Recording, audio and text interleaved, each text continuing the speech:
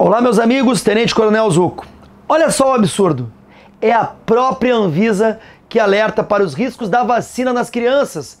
Mas se você falar deles, é rotulado como negacionista anti-vacina. Os efeitos colaterais da vacina em crianças e adolescentes podem até ser raros, mas são incomparavelmente mais graves que as complicações da Covid nessa faixa etária. Simplesmente não existe justificativa lógica para vacinar as crianças, exceto dar mais lucro para as empresas que fabricam a vacina.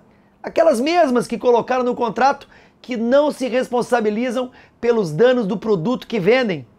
Cada pai e mãe é responsável pela proteção e saúde de seus filhos. O Estado não pode obrigar a vacinação dos menores de idade, pelo quais somos nós os responsáveis.